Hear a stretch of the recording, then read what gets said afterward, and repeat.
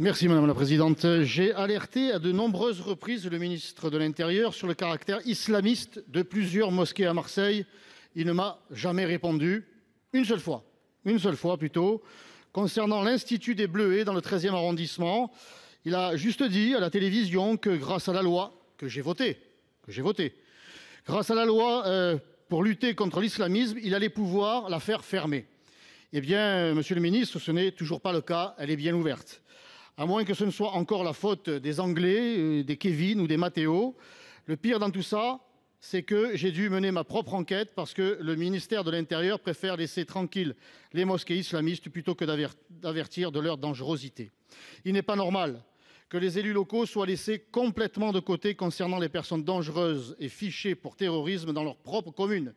Les maires connaissent tout de, leur commune, du pavé qui est cassé au lampadaire qui ne fonctionne pas, mais ils ne devraient pas savoir s'ils hébergent dans leur propre commune de potentiels terroristes surveillés par les renseignements. Le maire est officier de police judiciaire. Il est temps de le considérer comme tel, pas comme un simple fonctionnaire qui doit se mettre au garde à vous devant les injonctions du Gouvernement.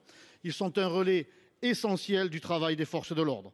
Sur les 1 370 personnes inscrites au FIGAIT en 2021, 536 avaient une nationalité étrangère, 536 potentiels bombes à retardement qu'on doit surveiller au plus près en impliquant toutes les autorités pour que les drames comme celui d'Arras ne se reproduisent plus.